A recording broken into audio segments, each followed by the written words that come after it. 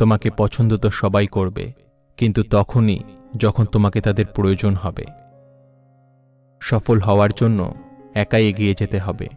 মানুষ তো পিছনে তখন আসে যখন তুমি সফল হয়ে যাও। পরিশ্রম এতটা করো যাতে ভাগ্যও তোমার সাথে থাকতে বাধ্য হয়ে যায়। যদি খারাপ সময় কেউ তোমার স্নেহ করে, তাহলে সেই তোমার আসল বন্ধু হয়। জীবনে কিছু কঠিন সিদ্ধান্ত নিতে হয়। আর এই সিদ্ধান্তই একদিন তোমার পুরো জীবনটা বদলে দেয়। নিজের ভাবনার উপর নিয়ন্ত্রণ করা শেখো, কারণ আমরা জীবনে অধিকতর দুঃখ পাই আমাদের ভাবনায় বয়ে যাওয়ার কারণে। বারবার অসফল হওয়ার জন্য দুঃখ পেও না, আর এটাই হলো তোমার সবচেয়ে বড় সফলতা। ক্রোধ সবসময় মূর্খতা দিয়েই শুরু হয়, আর সবসময় অনুতাপে এসে শেষ হয়। যত বয়স বাড়তে থাকে তত এটা বুঝতে পারা যায় যে আমরা সেই সব মানুষকে জীবনে বেশি গুরুত্ব দিয়ে ফেলেছি, যারা কখনো আমাদের গুরুত্বই দেয়নি। যার যেমন নীতি, সে তেমন কাহিনী তৈরি করে। কেউ পাখিদের জন্য বন্দুক রাখে, আর কেউ জল রাখে।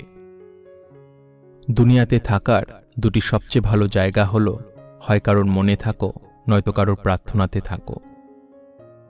যখনই কেউ আমার পিছনে কথা বলে, তখনই আমি খুশি হই। অন্ততপক্ষে তাদের আমার মুখের উপরে বলার মতো কোনো যোগ্যতা নেই।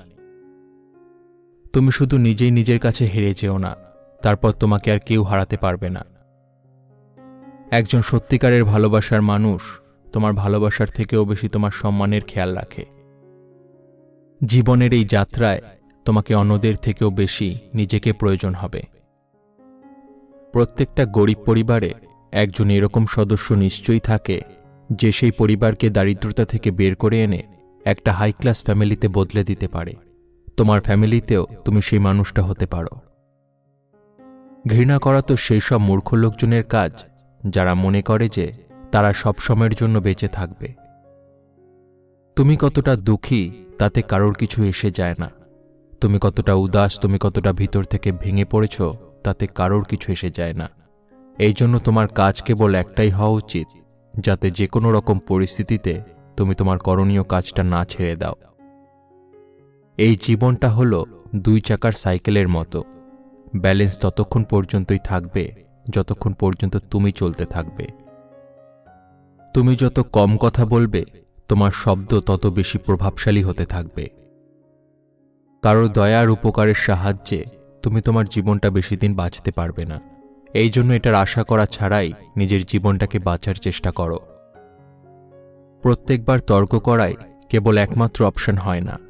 তুমি চাইলে সোজাসুজিভাবে এটাও বলতে পারো যে, আমি এই কথার সাথে সহমত নই। যখন জীবনে দুঃখ কষ্ট নেমে আসে, তখন মানুষ সেই দুঃখ কষ্টটাকে সহ্য করতে পারে না এবং আরও অন্ধকারে ডুবে যায় এবং তাদের দুঃখ আরও বাড়তেই থাকে। কিন্তু যারা বুদ্ধিমান হয়, তাদের দুঃখ সময়ের সাথে সাথে কম হয়ে যায়।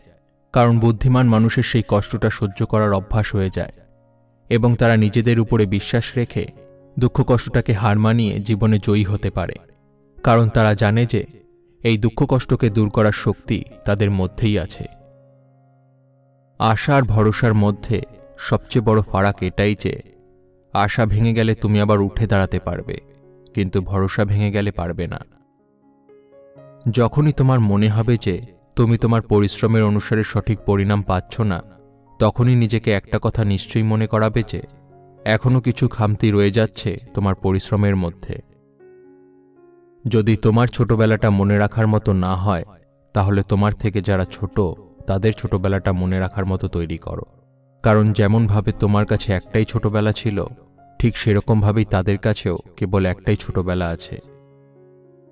কখনো কখনো সব কিছু পাওয়ার জন্য সবকিছু হারিয়ে ফেলতে হয়। যদি তুমি কোনো সমস্যার সাথে লড়াই করছ, তবে তোমার ভাবনা চিন্তা সেই সমস্যার উপরে না থেকে তার সমাধানের উপরে বেশি কেন্দ্রিত হওয়া উচিত। যারা ঘৃণা করে, তাদের জন্য জীবনটা অনেক ছোট। এই ঘৃণা করার বদলে নিজের কাজের উপরে মনোযোগ দেওয়া অনেক গুণ ভালো। যদি তুমি প্রথমবারই সফল না হও তাহলে তোমার মধ্যে আর সমস্ত মহান লোকজনের মধ্যে একটা অনেক বড় সমানতা আছে, কারণ তারাও কেউ প্রথমবারই সফল হয়নি। লোকজন তোমার ব্যাপারে কি ভাবে, এটা চিন্তা করা তোমার কাজ নয়। যদি তুমি তার কাজ করো, তাহলে তোমার কাজটা কে করবে? কেবল সেই ক্ষমা করতে পারে যে সঠিক হয়। কখনো কোনো মূর্খ ব্যক্তির মধ্যে খুদ বের করো না, কারণ এরকমটা করলে সে তোমাকে ঘৃণা করবে। কিন্তু কোনো বোজদার ব্যক্তির খামতি বের করলে সে তোমাকে ঘৃণা করার বদলে তোমাকে ধন্যবাদ বলবে। অনেকবার এরকম হয় যখন তোমার মনে হয় যে তুমি হেরে যাচ্ছ। কিন্তু বাস্তবে তুমি তখন জানতে পারো না যে তুমি সফলতার কতটা কাছে আছো। এই দুনিয়ার সবচেয়ে সুন্দর জিনিসপত্রকে দেখা বা ছোঁয়া যায় না, তাকে কেবলমাত্র অনুভব করা যেতে পারে।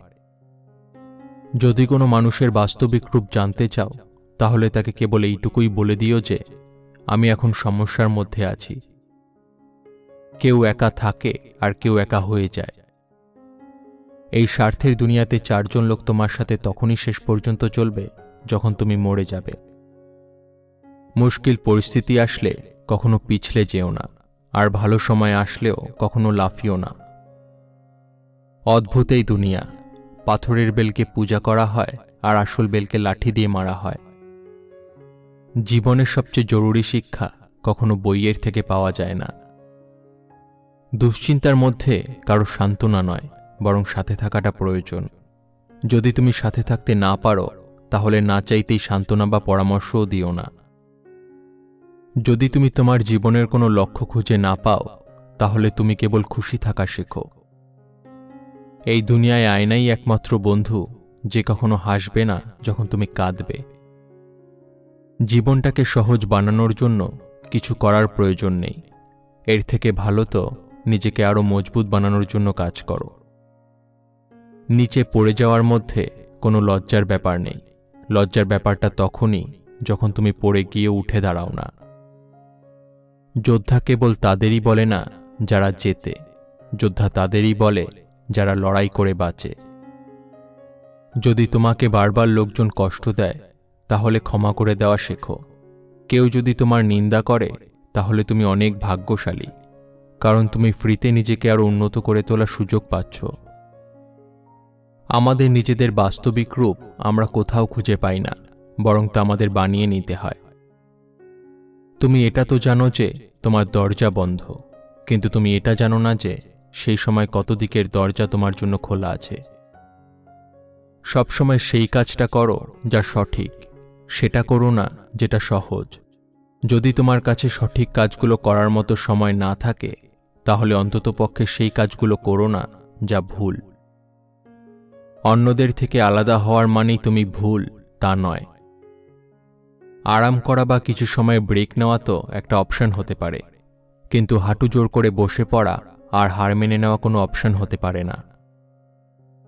জীবনে দুটি শব্দ যদি তুমি সঠিক সময় বলা শিখে যাও তাহলে কখনো আফসোস হবে না। প্রথমটা হলো ইয়েস, আর দ্বিতীয়টা হলো নো। স্বপ্ন সত্যি করার সবচেয়ে প্রথম পদক্ষেপ হলো স্বপ্ন দেখা। জীবনটা অনেক সহজ হয়ে যাবে যদি তুমি ক্ষমা করে দেওয়া আর ক্ষমা চাওয়া দুটোই শিখে যাও। কষ্ট সেই সব লোকজনের জন্য হয় না, যারা সাথে থাকে না। কষ্ট সেই সব মানুষের জন্য হয়, যারা সাথে থাকার নাটক করে। বন্ধুরা, ভিডিওটি দেখে যদি ভালো লাগে, তাহলে অবশ্যই একটি লাইক করবেন এবং সবাইকে শেয়ার করবেন যাতে তারাও ভিডিওটি দেখে উপকৃত হয়। সবাই ভালো থাকুন, সুস্থ থাকুন এবং মনের বসে নয়, মনকে নিজের বসে রাখুন। ধন্যবাদ।